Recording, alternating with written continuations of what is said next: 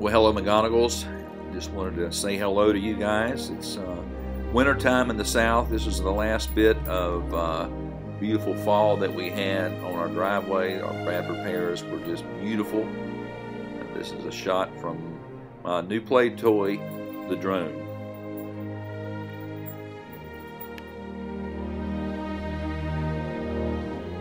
The cows are leaving. We're going to have strictly horses. I've got a wonderful help around the farm. Uh, riding is our number one hobby these days. Zoe, Lucy, and of course Grover, who is the master of the house. My horse's name is Clancy.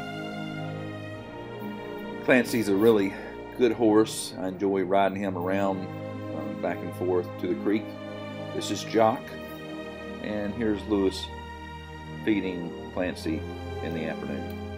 And this is Elizabeth's gaited spotted, saddlebred gelding. Beverly, you may remember going to Asheville. This is the Grove Park Inn. Elizabeth and I kind of celebrated a late 25th anniversary and spent the night up there. Uh, then we went to the beach and had a good time with our friends Bobby and Bonnie Grigsby and Lee and Melissa. By the way, check out the redhead. Some of the things we did, we went to Churchill Downs this year in Louisville, Kentucky. Had an absolute blast. Elizabeth in July went to auction school. So now my little cowgirl is a colonel. 15, $15 bid, the 15, the 15. Looking for $15 bid, 15 anywhere? 15, $15 bid, and sold it. $10.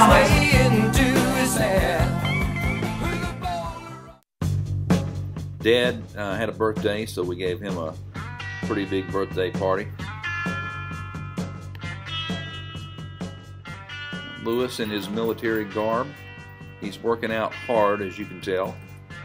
There's a picture of him and a picture of me.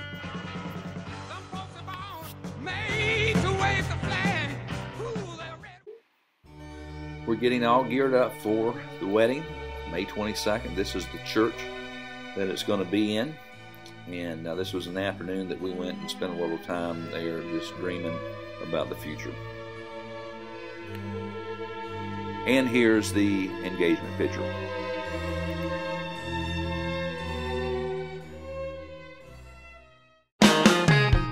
So, this is my little video sending you guys way for Christmas. Wish we were with you. By the way, that's one of my roosters. And Clancy on a good cold morning here in the south. We had an incredible sunset yesterday, and the moon was like a million dollars. Thought everything was going all right, but I was running out of time.